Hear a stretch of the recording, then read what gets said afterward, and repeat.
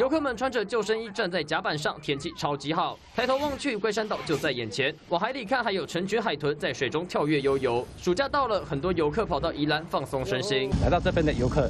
真的有回温的迹象，大概回温个两三成没问题。宜兰观光逐渐复苏，饭店七月的订房率已经到八成，农场乐园的游客也增加了三到四成。客人的询问度、电话量都有增加，那我们也是期待这个十五号上路的补助呢，会带来更好的业绩。这样，观光局投入五十五亿元，要在七月十五号启动新一波的国旅观光补助。自由行每晚住宿最高补助一千三百元，团游行程每团最高补助三万元，主题乐园则是有门票三折优惠，其他像是台南两百公尺。长的飘飘河，七月一号开始免费玩。剑湖山水乐园限时优惠，只要两百六十九元。到桃园住宿，每房补助一千元，限量一万间。疫情真的太久，民众都闷坏了，期待在旅游补助的助攻下，可以尽情享受，好好放松。记者林医生、王一德综合报道。